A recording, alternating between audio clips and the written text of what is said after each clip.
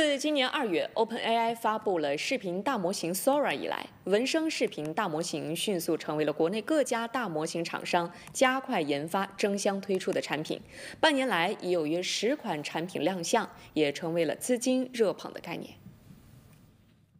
我们希望是有一个黑发的国风女孩，她一个转身的一个视频动作。那么现在这个画面就是在生成中，大概过五分钟就可以去生成一段长度为五秒的视频。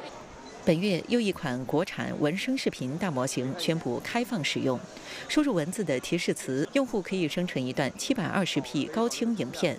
业内人士表示，文生视频大模型的难点在于实现多模态理解和处理能力。相比纯文字的大模型，对算力支持的需求将显著提高。运镜方式的话，有水平垂直推进，啊，分情感氛围，有一些生动活泼之类的，我们都可以简单选一下。比如我们五秒的视频，然后每秒钟三十帧，也就意味着可能一段视频就相当于一百五十张图像，那相当于是非常依赖于呃算力或者底层基础设施的一个建设。业内人士测算，当前生成一条长两分钟的影片所需的算力成本一般超过百元。虽然视频细节处理真实度还不足，时长也有待提升，但这一领域仍备受关注。